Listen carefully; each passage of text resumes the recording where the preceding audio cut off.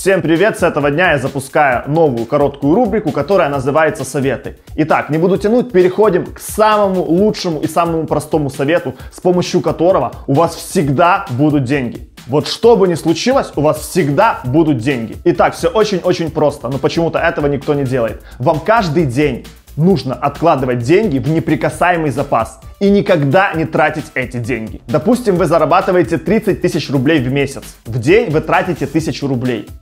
Откладывайте 100 рублей каждый день. То есть тратьте не 1000, а 900.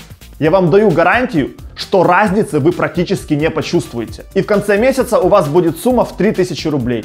В конце года у вас будет сумма 36 тысяч рублей. Вы скажете, да, это мало, это же не деньги. Но это лучше, чем ничего.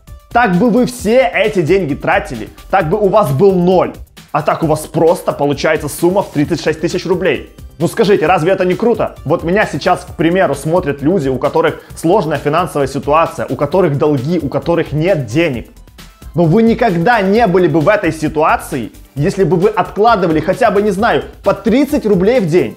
30 рублей в день. Да многие могут откладывать 30 рублей в день. За три года у вас было бы там 32 тысячи рублей. Но зато у вас были бы деньги. У вас бы были бы деньги, а так у вас ноль. Подумайте над этим. Кто-то мне может сказать, ну такими темпами я очень долго буду собирать свой миллион.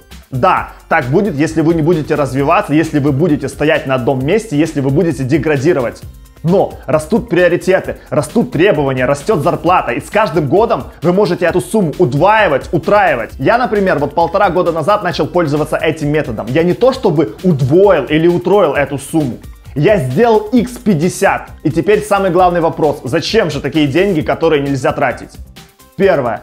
Это безопасность, это страховка.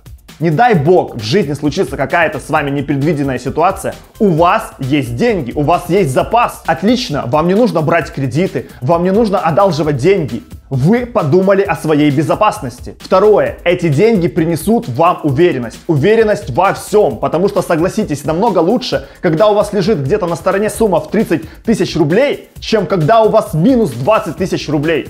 Как вы будете себя чувствовать? Намного лучше в первом случае. И третье. Эти деньги – это ваше будущее. В будущем вы сможете эти деньги проинвестировать или отдать их детям. Я начал пользоваться этим методом еще полтора года назад, после того, как прочел книгу «Самый богатый человек в Вавилоне». И с тех времен у меня никогда не было проблем с деньгами. В то время я еще мало зарабатывал. Но проблем с деньгами у меня никогда не было. Люди у меня спрашивали, откуда у тебя были деньги на первые большие депозиты? Да потому что я откладывал. Я каждый божий день откладывал деньги и наращивал свой капитал. Деньги притягивают деньги. Так что, пожалуйста, подумайте над этим. Все очень просто.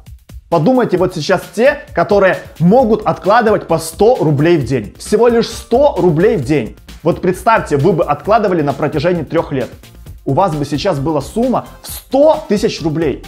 Сейчас у вас этой суммы нет, но она бы у вас была. Сейчас у вас ноль.